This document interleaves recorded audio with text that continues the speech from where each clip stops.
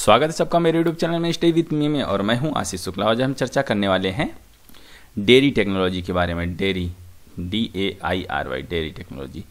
तो ये देखा जाता है आज के ज़माने में कि डेयरी टेक्नोलॉजी से अगर आप डेयरी इंजीनियरिंग वगैरह से आप बीटेक या डिप्लोमा या ग्रेजुएट या पोस्ट ग्रेजुएट वगैरह कर रहे हो तो आप मतलब बेकार का काम कर रहे हो।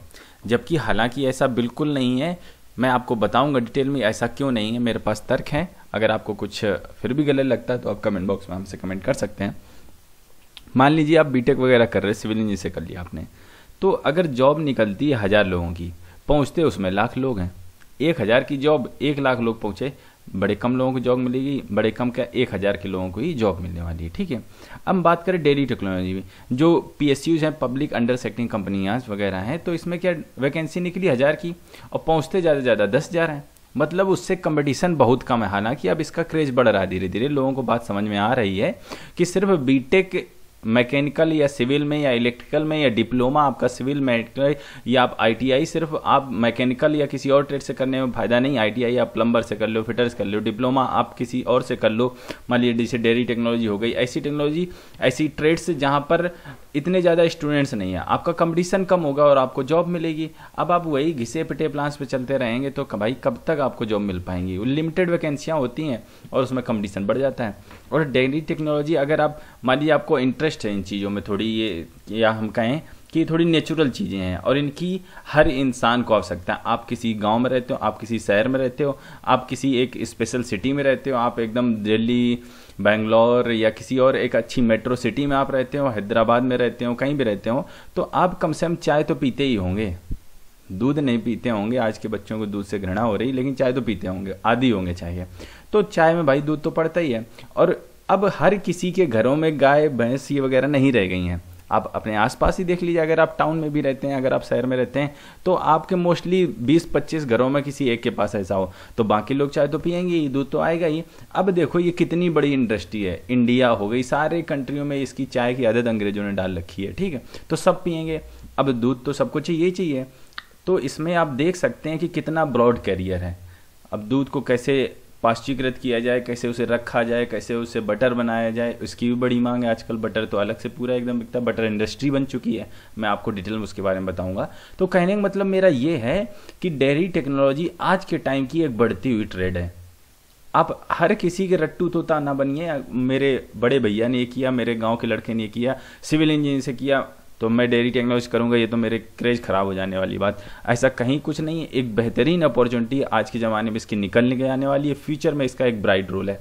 तो मैं डेयरी टेक्नोलॉजी के ऊपर बात करने वाला हूँ तो देखेंगे इसमें अपने वीडियो में कि आप कहाँ कहाँ से डेयरी टेक्नोलॉजीज़ की इंजीनियरिंग की डिग्री कर सकते हैं, कहाँ से आप डिप्लोमा कर सकते हैं, कहाँ से आप पोस्ट एम टेक वगैरह कर सकते हैं, सारी चीज़ें देखेंगे। और आपकी जॉब की रेंज क्या होगी? आपको किन किन कंपनियों में जॉब मिल सकता है? और आप किस किस यूनिवर्सिटी वगैरह से डिप्लोमा या फिर बीटेक या डेयरी टेक्नोलॉजी से रिलेटेड कोई और कोर्स कर सकते हो? और आपकी जॉब प्रोफ़ाइल क्या होगी? कौन कौन सी कंपनियाँ आपको जॉब देंगी? और आपकी जॉब की जो सैलरी वगैरह होगी, वो क्या होगी? इट मीन्स कि मैं अपने इस वीडियो में डेयरी टेक्नोलॉजी को शुरुआत से लेकर अंत तक देखेंगे।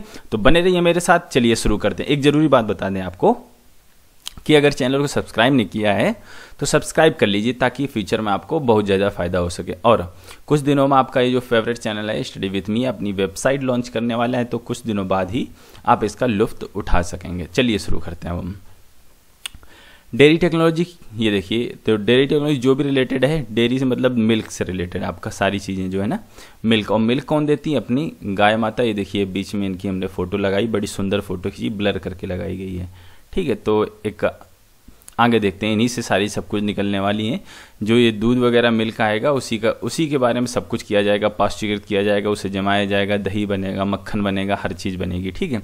तो पहले ये जान लेते हैं डेयरी होता क्या है? ए पर्सन कौन सा व्यक्ति डेयरी टेक्नोलॉजी में होता है? A person who works to process milk and its product in order to remove harmful toxins without affecting the natural values in term dairy technology तो डेयरी टेक्नोलॉजी क्या होती है कि दूध से कई प्रोसेस करके इसकी कई सारे प्रोडक्ट बनाना। जैसे दही बनता है बटर बनता है, मट्ठा बनता है तो ये सारी चीज़ों को बनाना और दूध में जो हानिकारक तत्व तो हो जाते हैं, ठीक है? रखा रहने से आपको मान लीजिए आज आपने भैंस का दूध निकाला तो ये तीन चार दिनों तक चलना चाहिए क्योंकि सप्लाई होगी आपके गाँव से आपने डेयरी दूध निकाला गया, कुछ दिनों में शहर में जाएगा, फिर और मल्टी सिटीज़ में जाएगा तो दो तीन दिन में पहुँच पहुँच पाता है। तो उसे भी प्रिजर्व करके रखना। ये सारी टेक्नोलॉजी जो लेके आते हैं, वो डेयरी टेक्नोलॉजिस्ट होते हैं। मतलब कि अगर आप डेयरी टेक्नोलॉजी में बीटेक या कोई डिप्लोमा करेंगे तो आपको यही काम करने वाला है। उसका कैसे पाश्चीकरण किया जाए, कैसे हम अच्छे से, अच्छे उसे रख सकें, कहाँ कहाँ इसका सप्लाई कर सकते हैं, ये सारी चीज़ें आपकी डेयरी टेक्नोलॉजी के अंतर्गत आएँगी, ठीक है?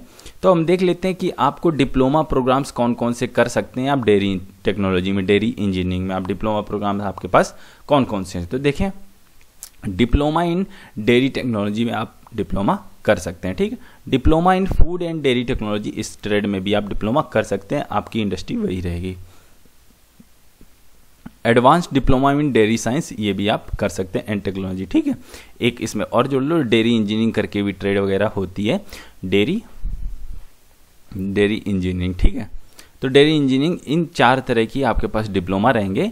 आप इसमें कोई भी डिप्लोमा वगैरह करके इस इंडस्ट्री में अपना कदम रख सकते हैं। अब देख लेते हैं, अगर आप बीटेक वगैरह करते हैं यूजी का मतलब अंडर ग्रेजुएट प्रोग्राम्स तो देखिए B Tech in dairy technology and B in dairy technology तो आप बीटेक या बीई वगैरह इससे कर सकते हैं।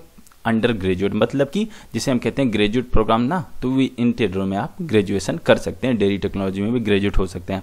अब इसके बाद अब अगर आप पोस्ट ग्रेजुएट होना चाहते हैं इसी में तो पोस्ट ग्रेजुएट मैंने यहाँ डाला नहीं है। आप पोस्ट ग्रेजुएट के लिए भी, आप एम के लिए बहुत सारी इसमें वैकेंसियाँ हैं, बहुत सारे कॉलेज इंस्टीट्यूट हैं जो प्रोवाइड कराते हैं। आप एम वगैरह भी इस टेक्नोलॉजी से कर सकते हैं, ठीक है? क्योंकि ये डिग्रियाँ आपके पास जितनी होगी एक्सपीरियंस आपके पास जितना होगा, उतनी अच्छी लेवल की आपको जॉब मिलने वाली, उतनी अच्छी आपकी सैलरी होने वाली। द डिप्लोमा जो आपने ग्रेजुएट करके रखे हैं और जो आपने पोस्ट डायरेक्ट लिंक हैं आपकी सैलरी से आपके, और आपका एक्सपीरियंस जैसा होगा, वैसे ही आपको सैलरी और उतना ही अच्छा उम्दा पद आपको मिलने वाला है उस कंपनी वगैरह में, ठीक है? अब हम देख लेते हैं कॉलेज और इंस्टीट्यूट ऐसे कौन कौन से हैं जो डेयरी टेक्नोलॉजी में आपको डिप्लोमा या बीटेक या आपको एमटेक वगैरह प्रोवाइड कराते हैं मतलब डिप्लोमा ग्रेजुएट पोस्ट ग्रेजुएट आपको कराते हैं। तो देखिए National Dairy Research Institute Karnal, ये नंबर वन इंस्टीट्यूट है। अगर आप इससे करते हैं तो आपके पास जॉब की कभी कोई कमी नहीं रहेगी आई गारंटी ठीक है? तो नेशनल डेयरी रिसर्च इंस्टीट्यूट ये एक बड़ा बेहतरीन भारत का एक डेयरी रिसर्च इंस्टीट्यूट है। इसमें अगर आप, इससे आप कर लेते हैं बीटेक या पोस्ट ग्रेजुएट डिप्लोमा वगैरह या कुछ भी इससे अगर आप करते हैं तो आप अगर एक अच्छे से स्कोरिंग वगैरह कर लेते हैं तो आपको कभी जॉब की कोई कमी नहीं रहने वाली। ये एक बेहतरीन इंस्टीट्यूट है, आप इससे कर सकते हैं। ये देखिए केरला एग्रीकल्चर इंस्टीट्यूट इससे भी आप कर सकते हैं, ठीक है? मैंने कुछ इंस्टीट्यूट के नाम, इंदिरा गांधी एग्रीकल्चर यूनिवर्सिटी है, इससे भी आप कर सकते हैं, ठीक है? रायपुर में है, इससे आप कर सकते हैं। आनंद एग्रीकल्चर यूनिवर्सिटी ये, इससे भी आप कर सकते हैं, ठीक है? तो और देख लेते हैं। इग्नू ओपन यूनिवर्सिटी, इससे भी आप कर सकते हैं। ठीक है? ये तो काफ़ी अच्छी है। आज के ज़माने में इसका क्रेज बढ़ता जा रहा है क्योंकि ये जो है ना, एजुकेशन, जो डिस्टेंस एजुकेशन उसे बढ़ावा देती है। तो आज के ज़माने में हर कोई अपने घर में या आसपास काम करता रहता होता है। हो सकता है उसके पास स्कूल, कॉलेज जाने का टाइम ना हो तो आप इससे भी कर सकते हैं। ठीक है? इसके बाद वेरियस जो स्टेट की पॉलीटेक्निक्स कॉलेज हैं तो वो भी अपने अपने में डेयरी इंजीनियरिंग से आपको डिप्लोमा वगैरह कराते हैं। आप यूपी के हो आप एमपी के हो आप बिहार के हो कहीं के भी हो तो डेयरी टेक्नोलॉजी उसमें होती है, आप वहाँ से डिप्लोमा वगैरह कर सकते हैं। तो मैंने जो इसके कॉमन इंस्टीट्यूट थे, जो फ़ेमस हैं और थोड़े अच्छे हैं, उनके बारे में मैंने आपको बताया। आप यहाँ यहाँ से डिप्लोमा वगैरह डेयरी इंजीनियरिंग में कर सकते हैं, ठीक है? अब आपने डिप्लोमा कर लिया अपने इंस्टीट्यूट मैंने बता दिए, ठीक है? अब इसके बाद बात आती है जॉब की। अब जॉब कहाँ करेंगे? तो हम देख लेते हैं जॉब प्रोवाइडर्स आपके कौन कौन से रहेंगे। अमूल का नाम किसने नहीं सुना होगा? अमूल डेयरी हर कोई जानता है, इसमें आपको एक बेहतरीन जॉब मिल सकती है, ठीक, अमूल में। मदर डेयरी फ़ेमस है आपने। मदर डेयरी में आपको एक बेहतरीन जॉब मिल सकती है इसके बाद में। नेस्ले, ये तो वर्ल्ड फ़ेमस है।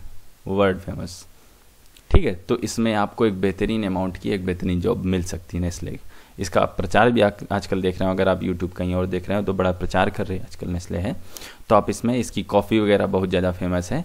तो ये सब चीज़ें जो है ना, आप इसमें रोज़गार आपको मिल सकता है। वडलाल में भी आपको रोज़गार की संभावना पूरी रहेगी, ठीक है? इसके बाद रिलायंस इंडस्ट्री भी इस क्षेत्र में आगे आई है, डेयरी इंजीनियरिंग में तो आपको रिलायंस इंडस्ट्री में भी जॉब मिल सकती है। मेट्रो डेयरी, इसमें भी आपको जो है ना, एक अच्छी बेहतरीन जॉब मिल सकती है।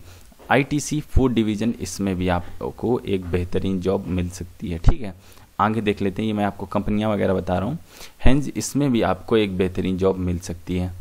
कंपनी एफ़ डी सुधा करके या चलती है कंपनी इसमें भी, भी सुधा में भी आपको एक बेहतरीन जॉब मिल सकती है ठीक है?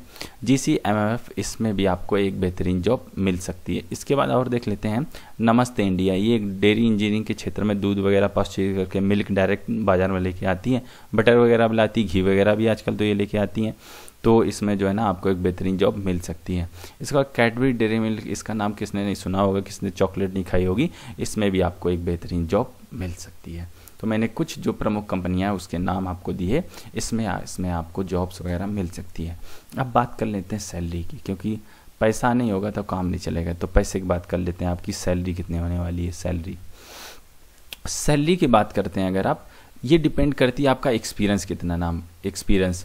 और आपके पास जो है डिग्रीज़ वगैरह, आपके पास डिप्लोमा है या डिग्री है या आपके पास पोस्ट ग्रेजुएट हैं तो उसके हिसाब से भी सैलरी मैटर करती है। अगर आप डिप्लोमा करके जाते हैं डेयरी इंजीनियरिंग में, इन ऊपर लिखी कंपनियों में, अगर एक रिपोर्टेड कंपनियाँ में जाते हैं तो आपकी जो जॉब मिलेगी डिप्लोमा होल्डर्स की, वो करीब करीब पंद्रह हज़ार से लगा के वही पच्चीस हज़ार तक वेरी करेगी पर मंथ की मैं बात बता रहा हूँ, पंद्रह हज़ार से पच्चीस हज़ार रुपये पर मंथ की आपको डिप्लोमा वगैरह करके जाते हैं किसी अच्छी कंपनी में तो आपको इतनी सैलरी की जॉब वगैरह मिलने वाली।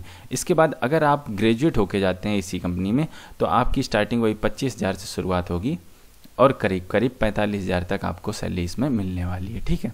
और जैसे जैसे आपको एक्सपीरियंस बढ़ता जाएगा, आपके पद अहदे बढ़ते जाएँगे, आप ऊंचरी पद पर पहुँचते जाएँगे, वैसे वैसे आपकी सैलरी बढ़ती जाए अगर आप पोस्ट ग्रेजुएट वगैरह कर लेते हैं तो आपकी सैलरी पैंतालीस हज़ार से करीब करीब शुरुआत होकर आपकी सैलरी, शुरुआती सैलरी में बता रहा हूँ, साठ हज़ार के करीब करीब तक आपकी जा सकती है, अगर आप इससे एम वगैरह करके इसमें जॉब की शुरुआत करते हैं। तो मैंने आपको बता दिया, आप जितने अच्छे इंस्टीट्यूट से करेंगे और जितनी अच्छी डिग्री लेके करेंगे, आप ग्रेजुएट होंगे, आप पोस्ट ग्रेजुएट होंगे तो उतना ही आपको अच्छी वैकेंसी वगैरह मिलेगी, एक अच्छी सैलरी वगैरह आपको मिलेगी। ठीक?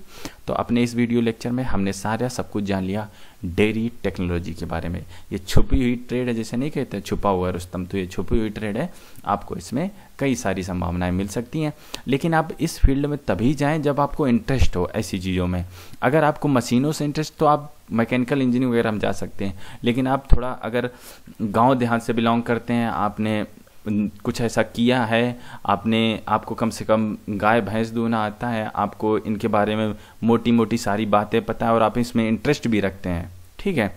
कि आपके पास ये पशुपालन का व्यवसाय भी अगर आपने कभी देखा, आपके दिमाग में आया कि कभी ऐसा करके कुछ पशुपालन हम व्यवसाय करेंगे, दूध की डेयरी खोलेंगे इंजीनियरिंग करेंगे। अगर आप इस क्षेत्र में भी जाना चाहते हो, कुछ सोचना चाहते हो तो आप इससे ज़रूर डेयरी इंजीनियरिंग करिए और अपने जो सेल्फ एम्प्लॉयड है, आप खुद के सेल्फ एम्प्लॉयड भी बन सकते हैं। आजकल शहरों में देखिए चट्टे खुले हैं। चट्टे का नाम तो आपने सुना ही होगा, भैंसों के चट्टे तो उसमें क्या होता है, बहुत सारे शहरों के आसपास लोगों को दूध की सप्लाई होती है। तो ये भी एक, क्या चलो इसे लिख देते हैं, बड़ा इंपॉर्टेंट ये तो मैंने कंपनियों के बारे में बात कर दी।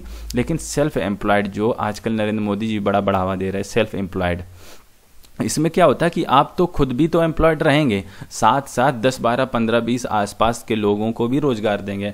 अगर आप भैंस के चट्टे वगैरह कुछ ऐसा लोकल में खोलते हैं, आप किसी शहर में खोलते हैं, आपका खुद का बिज़नेस रहेगा और आप कुछ लोगों को रोज़गार भी देंगे और आपको कहीं इधर उधर भटकना नहीं पड़ेगा, इधर उधर जाना नहीं पड़ेगा रिज्यूम नहीं लगाने पड़ेंगे और आप एक भारत के सक्षम नागरिक बनेंगे, दूसरों को रोज़गार देने वाले नागरिक बनेंगे, सम्मान मिलने वाले नागरिक बनेंगे, ठीक है?